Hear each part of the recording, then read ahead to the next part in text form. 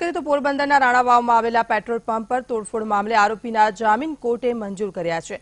આરોપી અને કુતિયાળાના ધારાસભ્ય કાંધલ જાડેજાના આગોતરા જામીન સેશન કોર્ટ દ્વારા મંજૂર કરાયા છે. કાંધલને પોરબંદર સેશન કોર્ટ તરફથી મોટી રાહત મળી છે. મહત્વનું છે કે કાંધલ જાડેજા સહિત દસ લોકો સામે તોડફોડ મામલે ફરિયાદ નોંધાઈ હતી.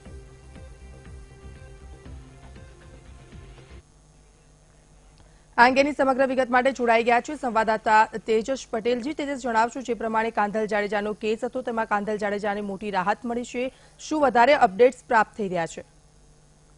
હજી ગત તારીખ ચોવીસ ડિસેમ્બરના રોજ કુતિયાણાના ધારાસભ્ય કાંધલ જાડેજા સહિત દસ શખ્સો વિરુદ્ધ રાણાવા પોલીસ સ્ટેશનમાં, રાણાવા નગરપાલિકાના પૂર્વ પ્રમુખ શામત ગોગન ઓડેદરાના પેટ્રોલ પંપ તોડફોડ કરી હોવાની ફરિયાદ નોંધાવવામાં આવી હતી. જેના પગલે કાંદલ જાડેજાએ ગુજરાત હાઈકોર્ટમાં ક્રોસ પિટિશન દાખલ કરવામાં આવી હતી, પરંતુ હાઈકોર્ટમાં હાલ વેકેશનનો સમય હોવાથી કાંદર જાડેજાએ પોરબંદરના સેશન કોર્ટમાં તેના વકીલ દ્વારા જામીનની માંગણી મૂકવામાં આવી હતી, ત્યારે આજે પોરબંદરના સેશન કોર્ટ દ્વારા કાંદર જાડેજાને આગોતરા જામીન મંજૂર કરી દેવામાં આવ્યા છે. જી. જી, બિલકુલ તેજસ સમગ્ર વિગત માટે આભાર.